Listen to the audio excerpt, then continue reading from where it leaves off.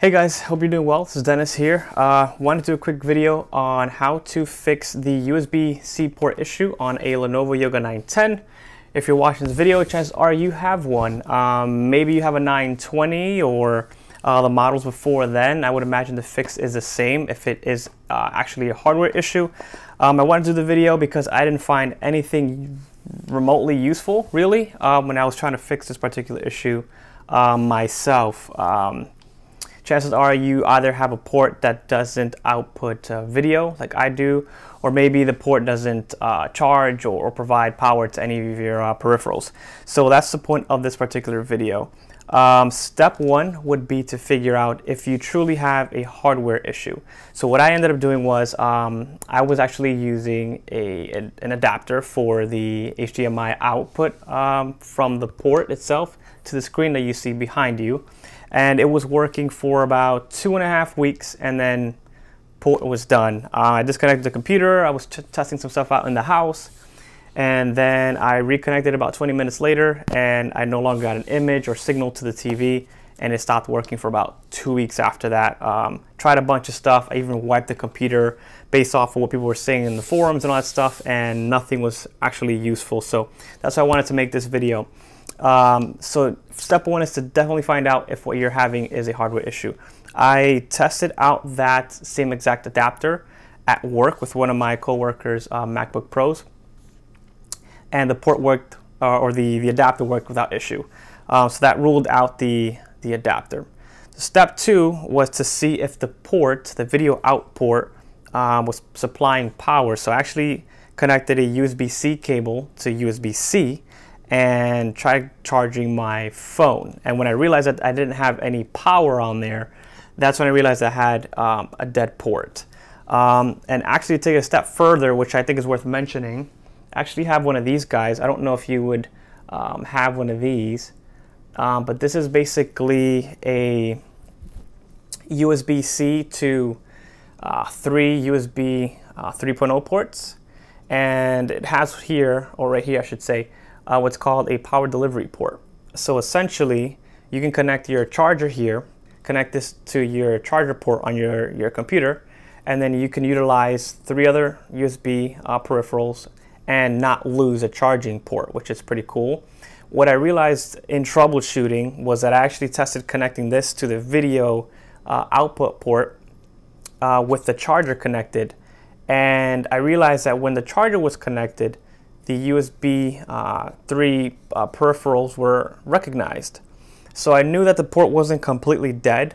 It was a power issue with the port. As long as there was current running through the power, uh, or the port I should say, the peripherals were, were recognized. That's why the adapter no longer worked. And I don't know if the adapter caused it or not. I don't think so, um, just because it's working with another computer. Um, and just based off what I was reading in the in the, the, the forums themselves, it seems like a lot of different people had that issue. So I highly doubt that we're all using the same or just a handful of uh, adapters for the, the output port on the Lenovo. Um, so what I ended up doing, I called uh, support, Lenovo support, and they were not useful at all. Uh, I told them, hey, you know, I've had this computer, I've only been using this port for two and a half weeks. It's kind of unacceptable that a computer that's new like this that hasn't really gotten any usage uh, would have a port that would go bad. You know, it's just a, a basic USB-C port, right? Um, and they told me there's nothing they could do because I was already outside of, of the warranty. Um, and all they basically told me was to take it to a Geek Squad uh, location in a Best Buy and that they were authorized to fix this kind of stuff. Uh, I pretty much laughed at the idea. Um, and previous to that conversation, I had actually, uh, in looking at all the forums, it seemed like the, the people that sent it in for warranty repairs. A lot of people said they sent it in uh, and they got their motherboard replaced and all this stuff. So I already had in my mind that maybe those ports were soldered to the motherboard. So that's what I was kind of talking to that person on the phone about. And I thought that, you know, I was just going to have to buy a new motherboard and swap it out, which I thought was pretty drastic. And yeah, so I didn't want it to be something drastic and I didn't want to spend all that money to fix a port um, that shouldn't have gotten messed up to begin with. So I did more research. Um, what I ended up doing was uh, opening the computer to check out how the ports were pretty much connected and attached to the motherboard. Um, luckily, I did that. Um, you would actually need uh, a Torx set. They're very, very small screws, which you can see if you flip over the back. Um, you see the back of the, the computer. I got one of these guys right here. Um, and this is very handy to have. I've used this for other projects, uh, but it was like 10 bucks at Walmart, which I highly recommend. You get this one or any other ones um, that have very small tor uh, Torx screws, um, screwdrivers. So, or bits, I should say. Um, so I ended up taking out the all the screws in the back. And um, the good thing about having the flat computer like this is that they're, they're limited into kind of how they put the pieces together. So it ends up being pretty simple. Um, so once you take this back paneling off, you'll see uh, wherever the, depending on how you flip it around, but if you look at the ports on the inside in this corner right here, um, that there's just a ribbon and I'll show you what it looks like um, because I actually ordered a replacement. So that's the ribbon that connects to this particular piece here. And this is the old one. This is the one I actually swapped out because I ended up ordering a new one. So this is what it looks like. Um, there you go. So it's a small little module. It's not actually soldered to the motherboard, which is the great uh, piece about it. Um, and it's not a motherboard swap that you have to do, which is expensive and a lot more work to swap everything out. So what I ended up doing was, if you go onto the, the Lenovo website, uh, and I'll add that link to the description just to make it easier for you. You can actually um, enter in the serial number of your computer. It's going to spit out all the parts that it has and all the mat, uh, the manufacturing uh, part uh, numbers, which is awesome. I've actually never seen uh, um, any website, uh, kind of computer manufacturers, um, do that, which was um, pretty useful. So um, if you're having that issue, what I would do, and this is what I did and it worked flawlessly, I ended up going on that website. I typed in the serial number, which you can find right here. Um, I don't know if you could, maybe I'll zoom in here so you can see. Um, I ended up typing in that serial number.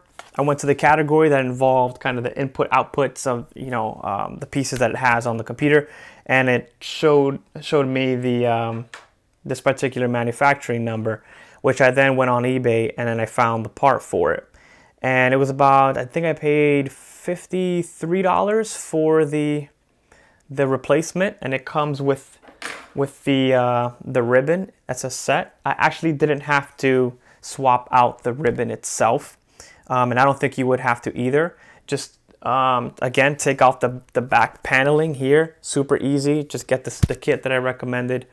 Um, and it's about two or three um, screws that you have to take out to be able to take out the actual module for the USB-C ports. And then just pop out the, the ribbon, put in the replacement, put in the ribbon again, and just put the screws back in. And it's a simple, simple swap. And for 50 bucks or so, um, you'll get your ports working uh, in good order. Um, so it wasn't a a swap that required you know the motherboard and all that stuff and spending a bunch of money. And it's a very very simple swap. Definitely a DIY. Uh, if you call Lenovo, it's kind of disturbing how you know, their customer service doesn't tell you what it could be. And if you tell them you're going to swap out the motherboard, they just let you think that because that's what they told me. Or they're going to recommend you to, to Geek Squad is probably to charge you like $500 to swap out something that you can do yourself in, in 10, 15 minutes.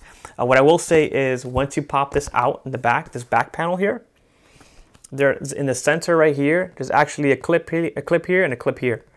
So when you take the, uh, the panel out, just be careful uh, try not to pull it too much from one end. So try to pull more from the center um, so that you can snap it out and without like bending the actual back plate. And then once you open it, you can see how easy it actually change out some of the other pieces. So if you had like problems with your fans or the battery, the battery would be the easiest swap you can do. Um, so once you open it, you'll kind of get more more familiar and comfortable with the computer, and you know that if something else was to go, um, that it won't be a difficult uh, swap um, to do yourself. So again, I'll put the, uh, the link in the description to the URL where you can enter your serial number on the Lenovo website and then get all the manufacturer parts for the pieces that are in your computer so that you know um, which one to get specifically.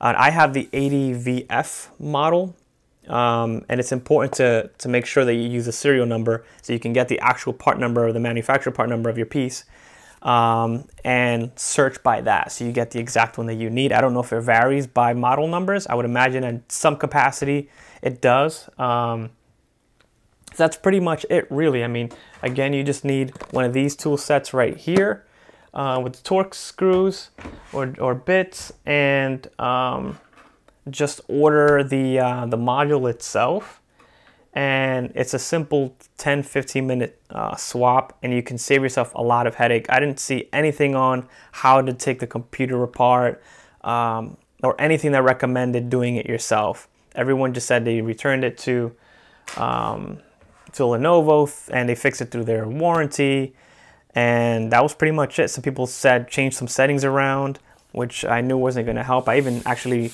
um, clean a, i wiped the computer back to to kind of stock level um, and kind of kept all my files, but I wiped the, the Windows files.